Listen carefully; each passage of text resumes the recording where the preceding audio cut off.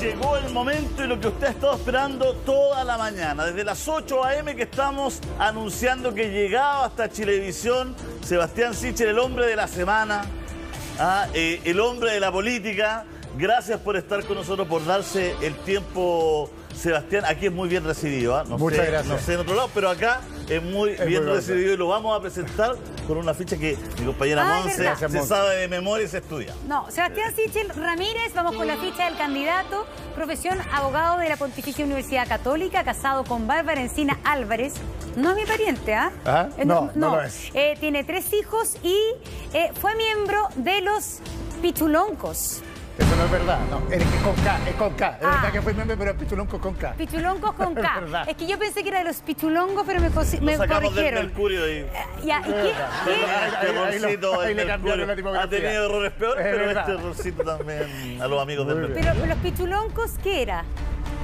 Era un grupo de gente que éramos becados en la Católica o gente de regiones que armamos, como hablábamos, un espacio multicultural. Era un equipo de fútbol, era una banda de rock, era un lote que nos juntábamos a carretear y teníamos una revista que se llamaba El Manatí de Mente, que agarraba un poco para el deseo a, a todos los otros compañeros. Ahí estábamos algunos. ¿Cuál es- algunos- cuál- cuál es- cuál es No, yo, yo era, no, los otros dos eran delegados de curso, grandes amigos, Pablo Muñoz y Rodrigo Ordachar, que en ese tiempo eh, estábamos, teníamos diferencias políticas y él lo íbamos ido acercando en este tiempo. Pero así era yo, literal, más chascona. Yo llegué con el pelo bien Ahora largo. son todos de derecha. Y con aro. No, yo sigo siendo de centro Ah, con una diferencia. No, yo sigo siendo de centro, pero Rodrigo, que era de la UDI, eh, cambió y salió de la UDI y es muy amigo mío porque tuvimos un encuentro en el ¿Por qué centro. salió de la UDI? Porque Es tuvimos decir- un encuentro en el centro. Ah, porque- es decir, la- es- es Exacto, decir, pues. es decir, Eh, amigo, sí, porque salió usted-. Usted Dejémoslo claro. que, que, usted todavía es el un perro hasta candidato. ayer Rodrigo, así que además somos más amigos aún. Usted todavía es el candidato Chile Podemos Más, porque dice, sí. pero era de la UDI, hay No, libertad de no, sigo acción. siendo- gané una primaria por una amplia mayoría, orgulloso de que haya gente de la UDI, Renovación Nacional, de Bópoli y alguien de centro como yo. Si lo raro, y de ahí conversé por lo largo, es que haya gente que quiera que no sea lo que soy. Hoy día había un diputado que decía, es que él no es tan derecha, pucha, no, pues gané la primaria siendo quien soy.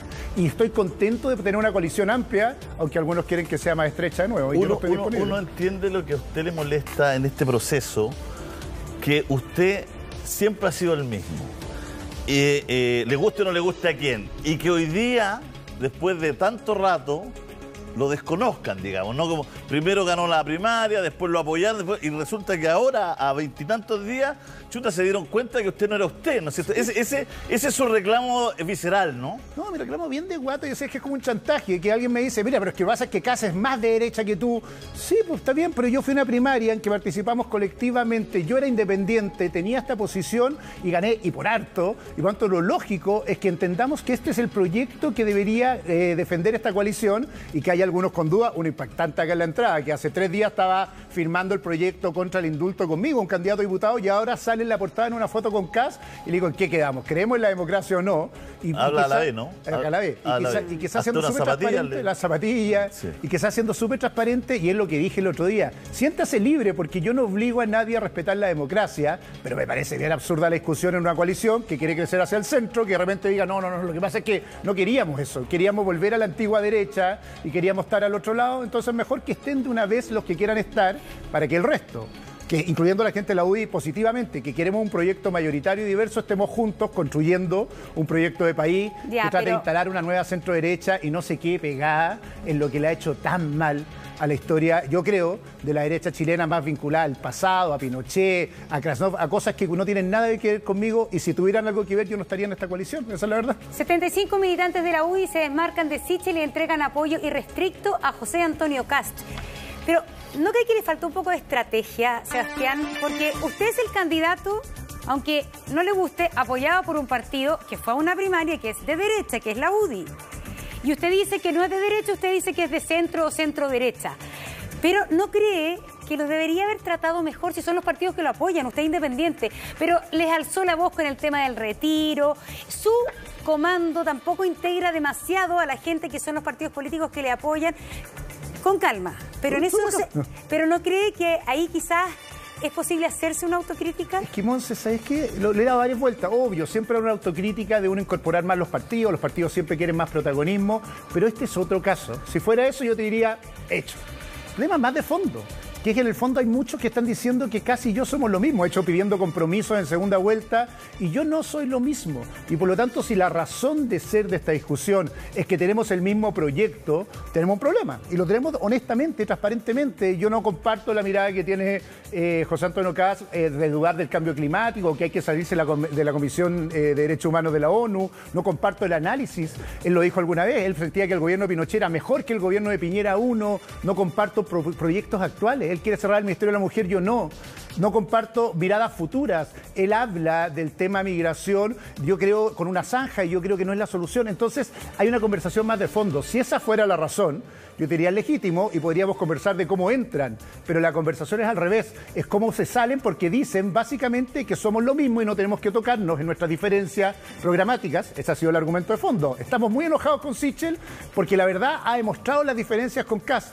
Pero si somos diferentes, somos proyectos distintos. Yo no creo en un proyecto que separa en la antigua derecha. No lo creo, no lo creo nunca, nunca estaría aquí si fuera así. Entonces algo me enreda de esa conversación porque si el accidente es que lo debía haber hecho más cariño, ¿cómo? Diciendo que estaba contra el cambio climático o diciendo que quería cerrar el pues, Pero yo le digo más cariño. Pero es que el quiebre ocurrió ahí. Es que la UDI nunca dijo que estaban contra el cambio climático. La UDI nunca, nunca ha manifestado un pensamiento tan cercano a José Antonio Casi, la UDI era un partido que lo apoyaba. Sí, pero y usted se llevaba bien con la UDI Me durante, llevo muy bien con, la gran mayoría de la UDI. quizá le faltó... Menos 75. Sí, pero, pero, le faltó, de alguna manera, entender que sin los partidos usted no llega a la moneda. Es que estoy con, con todos los partidos ya han ratificado el apoyo. Si hay gente de la UDI, no la UDI, que no creen eso, si este quiebre se produjo en un minuto bien especial, después de que el punto de prensa, que es cuando dije, yo soy distinto acá por estas cosas con el Ministerio de la Mujer, si eso pasó ese día.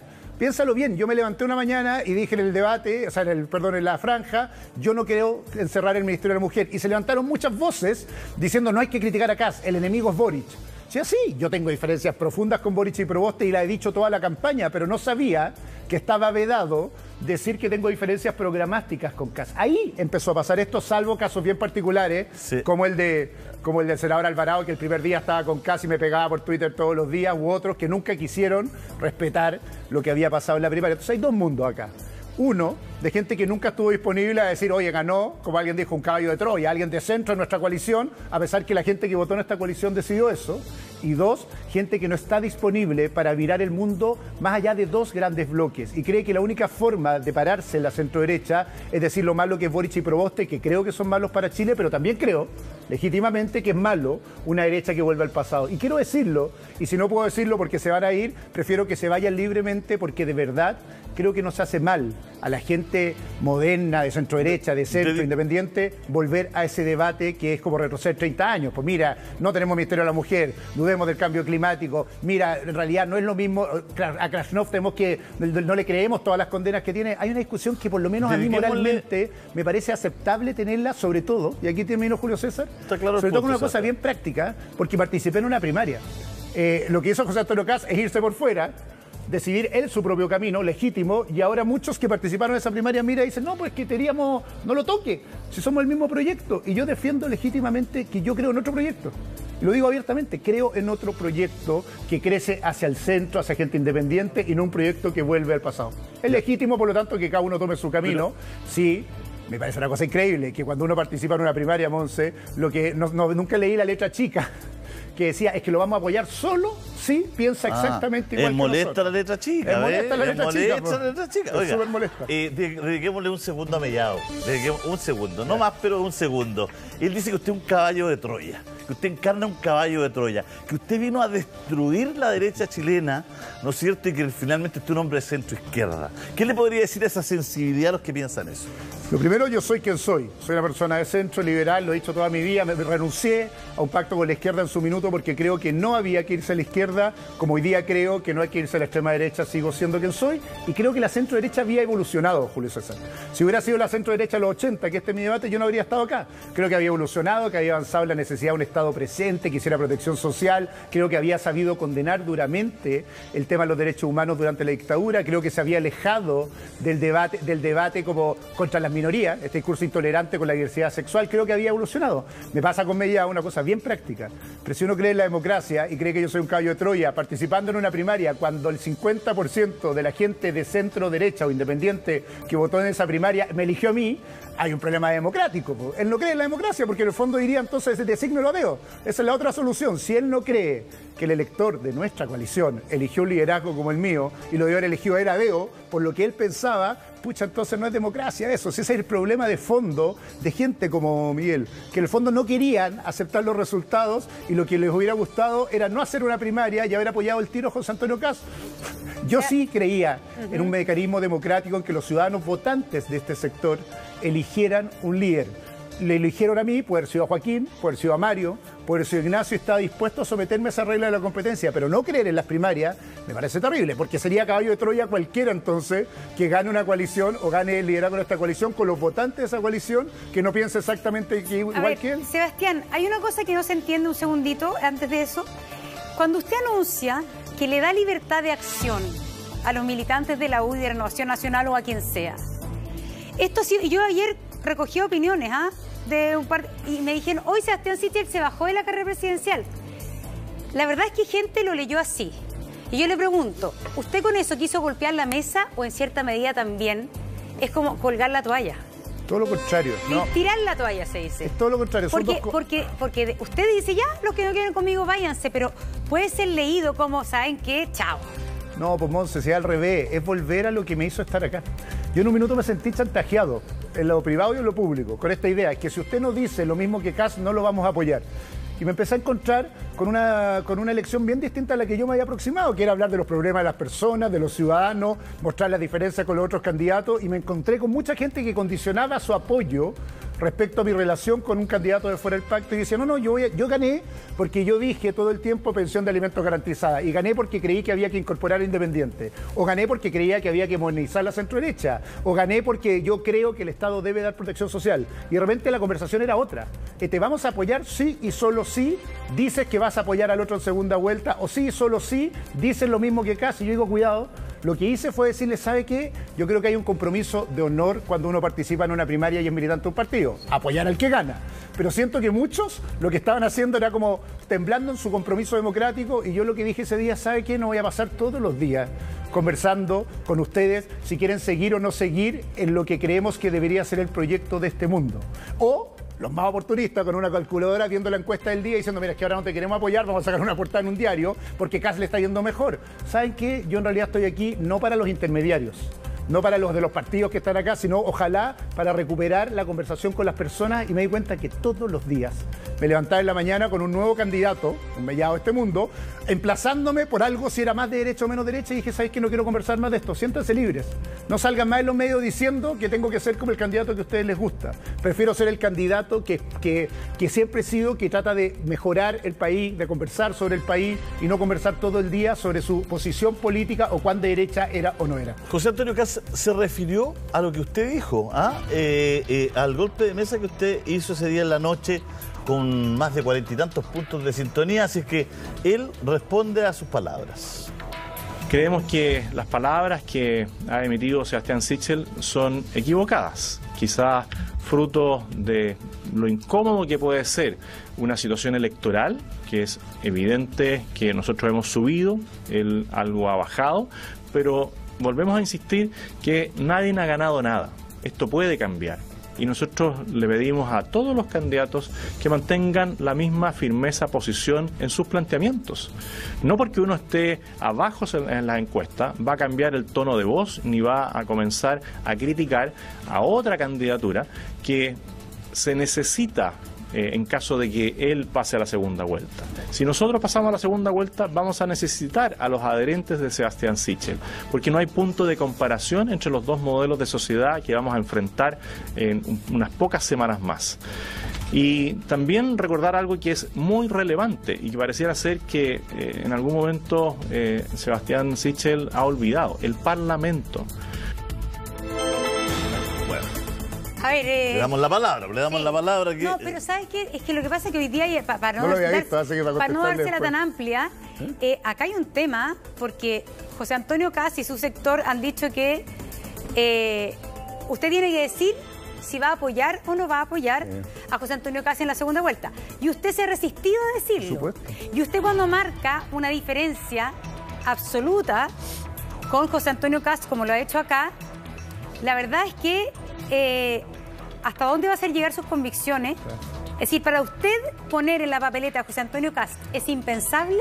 Pero déjame contestarle a él y te contesto al ti, para contestar las dos cosas porque no lo había visto es que no, puedo creer eh, que cualquier candidato, Boric, Proboste, Artel, la posición que él tome sea, sabe que no conversemos, porque es eso atacar, no conversemos sobre el programa. A mí me cae bien José Antonio, ¿eh? que es un caballero, que tiene formas buenas, pero creo que lo más legítimo cuando uno representa proyectos distintos en una campaña es poder cuestionarle los temas de programáticos, porque si no, es que el daño y el otro proyecto sociedad, la, la política solo se trataría de contra quién estás. Y obvio, si yo ya lo he dicho varias veces, desde toda la campaña, tengo diferencias muy profundas con Boric y Proboste, pero es increíble que en una campaña alguien diga, mira, no nos critiquemos porque lo importante está al otro lado. Yo no estoy en la política solo por contra quién estoy, estoy por lo que creo y por también hacer una mejor vida para los chilenos. Y ahí vienen las diferencias que te decía. De verdad yo no quiero retroceder 30 años en libertades que hemos ganado. Si, si, hablar de una dictadura gay, cuando Joaquín Lavín, alguien que es contrario al matrimonio igualitario, pone la bandera en la marcha del orgullo gay en su municipio, que como trató José Antonio Cas, eh, a Joaquín Lavín, es un debate profundo. Yo entiendo que haya gente que no quiera estar a favor del matrimonio igualitario y yo estoy a favor. Entiendo la libertad de culto, pero lo que no entiendo es que haya ese nivel de debate y que nadie puede decir, oiga, eso es intolerancia. Eso provoca discriminación en el mundo gay o que no podamos discutir lo de la zanja. Yo soy alguien que cree que la migración tiene que ser regulada, legal, etcétera, pero construir una zanja me parece eh, estar como en el medioevo en la discusión. ¿Cómo no vamos a poder discutir los temas programáticos? Entonces la campaña solo se va a tratar siempre de apuntar al del frente. Mira que feos son los de izquierda, mira, son malos para Chile. Y nosotros, la verdad, no. Yo creo que en Chile ese bloque del sí y el no, conceptualmente, que representa esa generación, se acabó. Se acabó Pinochet y Allende. Incluso se acabó Piñera y Bachelet, pero les es cómodo a algunos quedarse en esa conversación. Miren, no me ataque a mí porque los que estamos a este lado, o no conversemos, ni siquiera me ataque, no debatamos de programa, porque estamos a este lado, somos todos iguales. Es que no lo somos. Y esa reflexión tiene, con tu, tiene mucho que ver con tu pregunta, Monse. ¿Sabes qué? Yo no tengo por qué, si no soy parte del mismo pacto político, si tengo un programa de gobierno distinto, si gané en una primaria legitimando ese programa de gobierno, firmar hoy día en blanco un cheque para alguien que tiene un programa de gobierno distinto. Eso vale para CAS, para Artés o para cualquiera. Yo creo que esa conversación se tiene que dar en otro minuto. Me quedo con, con algo que dijo Desbordes y Briones ayer. Oye, si nosotros queremos pasar a segunda vuelta, pues. Si lo que creemos que es mejor para Chile que un proyecto encabezado por mí, pero también plural, diverso, tolerante, que haya gente de la UDI, hasta que en la misma mesa haya ex demócrata cristiano y mucha gente independiente como yo, es bueno. Y es distinto un proyecto de solo gente de derecha. Es mejor. Y por lo tanto, ¿por qué yo hoy día vamos a decir cualquiera, usted o yo, ¿Qué voy a votar en segunda vuelta? Si es una decisión que tenemos que tomar en su minuto. Y en mi caso, nunca vi, otra vez la letra chica, Julio César, en el, en el pacto de primarias que dijera, sí, usted participa en esta primaria, pero está forzado a votar porque le digamos después en segunda. No, no, yo participé en un pacto de primaria porque queríamos pasar a segunda disculpa vuelta. que nos pongamos tan pragmáticos, ah. pero eh, porque la verdad es que, que creo que la discusión que usted está dando aquí en el programa es buena porque es profunda y a veces nos falta profundidad porque los debates son muy pregunta-respuesta, pregunta-respuesta, y hemos tenido un poquito más de tiempo hoy día. Eh, pero la matemática nos dice que para que un candidato de centro derecha pueda ganar, tienen que estar al menos todos los de ese sector juntos. Que es a lo que apela Cast, porque Cast es habilidoso, ¿ah? Es habilidoso, entonces. Eso él, aquí ir cambiando de posiciones en la vida. Él, lo que está diciendo ahora, Cast está diciendo después nos necesitamos porque es la matemática simple que él saca, ¿no? Eh, yo entiendo que usted está apelando a que hay un amplio sector de la ciudadanía de derecha que no está en los partidos. Eso es. ¿No es cierto? Y que, los partidos no son todos, que un partido aquí o que cinco UDI se vayan, realmente no importa a nadie. A la gente, digamos, ¿no? Yo creo que usted está apelando a esa lógica, ¿no? Es decir, que se vayan cinco y no representen. Porque la centro derecha ya me eligió a mí en la primaria y la gente salió a votar. Entonces, ¿cómo se resuelve si usted gana, porque lo siempre, lo ponemos en el caso, el periodismo lo está poniendo en el caso si usted pierde. Ah, pero ¿cómo lo resuelve si usted gana? ¿Va a ir con su mejor cara a decirle, José Antonio, apóyame? No. Bien, primera dos reflexiones que cambian esa lógica. Lo primero, la verdad, la mayoría de los chilenos no se definen ni derecha ni izquierda, solo creer que esa es la única forma de resolver la política, es no entender lo que pasó en Francia con Macron y Le Pen, que pasaron dos candidatos que en esta estructura no cabrían, o lo que pasó en España, que hay cuatro bloques. Insisto, esta idea de que hay dos bloques en Chile y que el mundo se divide entre la izquierda y la derecha como en la Guerra Fría es bien, antigua, es bien antigua, bien ochentera. Yo al revés creo que la mayoría de los chilenos son independientes, que toman su decisión respecto a algo bastante lógico, que lo harías tú o yo si fuéramos una persona de clase media, diría yo voy a votar por el que mejor va a hacer cosas Sí, para pero mi vida. venimos de dos elecciones 80-20. Por eso, por eso se demuestra que se quiebra esa lógica, porque si fuera mitad y mitad o 60-40 como fue el 100 no, y venimos saliendo de dos elecciones 80-20 y seguimos funcionando como si esto fuera el plebiscito del 100 no. Su primera reflexión, la verdad es que yo quiero apelar a la gente de centro derecha, pero creo que eso, o a la, que es minoría en Chile, sino a la gente que está buscando un mejor gobierno para su futuro con mis propuestas programáticas. Primera reflexión. Segunda reflexión, que tiene que ver con lo de José Antonio y también con lo de Gabriel Boric. Yo creo que el error de posicionarse a los extremos eh, va a generar dos cosas brutales. Por eso lo de la segunda vuelta es interesante conversarlo. Primero, que nunca más nos pongamos de acuerdo. Si un país que va a un choque de trenes como de cabros chicos, que es como van dos trenes chocando, diciendo uno, José Antonio, que va a rebajar la carga tributaria en un 20%. En un país que está endeudado y que tiene que seguir dando la ayuda social, te vi anunciándolo el IFE. Yo decía, ¿cómo vamos a dar ayuda social en un país que cobra menos impuestos y termina eh, y echando a 30.000 funcionarios? Y al otro lado, tengo a alguien que dice lo que vamos a hacer es subir los impuestos y yo creo que el país no va a aguantar su crecimiento hacia adelante. ¿Por qué te digo esto? No me hagan elegir entre los extremos, yo quiero ser aquel que represente una coalición, una gran mayoría de los chilenos y por lo tanto... Ya, la- pues, Sebastián, pero yo justamente le estoy planteando eso porque entiendo su lógica. No lo quiero dar a elegir eso. Mire, yo estoy siendo optimista, Quiero lo ganar, estoy pues, haciendo estoy. pasar a usted la segunda vuelta. ¿Qué mejor este programa? Ah, a diferencia de los otros programas que dice o que, que usted no va a pasar, que le dicen, ¿por quién va a votar? ¿Por, Sí. Cast o por Boris? Yo le estoy diciendo, usted pasa a la segunda vuelta, revierte esto. Al No, otro día, ¿va a ir al comando de casa a pedirle apoyo o no? Esa es la respuesta concreta, no. Yo creo que al revés, que uno no es dueño de sus Lo estamos electores. grabando, ¿ah? Sí, pero eso, eso lo sé, pero no por él, ¿ah? Yo creo es que, que Mañalich me dijo cinco creo- veces en la radio que no iba a ser creo- candidato a senador. Así que... verdad, pero creo que esa forma vieja de que tratar de endosar apoyos por partido, yo nunca hubiera ganado una primaria así, pues si me pesaban por parlamentario estaba perdido. Lo que yo creo es que al final del día quiero representar a gente que votó por él por la necesidad de orden, seguridad y control de la violencia. Aquí yo lo creo totalmente, me ha escuchado, soy contrario a los indultos, creo que hay terrorismo en la Araucanía, pero yo no creo en esos pactos políticos. Y en general yo quiero gobernar invitando a los electores de él. Y ojalá gente que haya votado por Yarna Proboste, e incluso que se haya equivocado y votado por Boric en su minuto, a construir una gran mayoría si yo quiero ser presidente de todos los chilenos.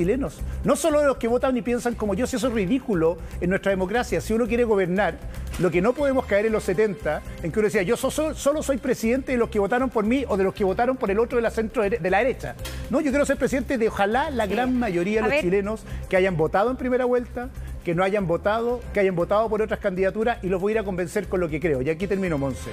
Que la idea del orden y la seguridad son clave, pero que esto no solo se arregla con garrote, que hay que arreglarlo, también se ayuda, se arregla con más justicia y con más, ayuda del Estado, que creo que yo creo en las pymes y el mercado profundamente, pero lo que creo es que el Estado va a tener que estar presente y que lo que hay que hacer es que atienda hasta las 6 de la tarde. Yo creo que hay que apoyar a las mamás, a las mamás que no tienen pensión de alimento, pero también creo que el Estado no puede transformarse en un Estado emprendedor cuando hay gente que tiene Ya, talento para emprender. para no es verdad que hay dos mundos. nomás. Sebastián. Eso es muy de los sí, 70. pero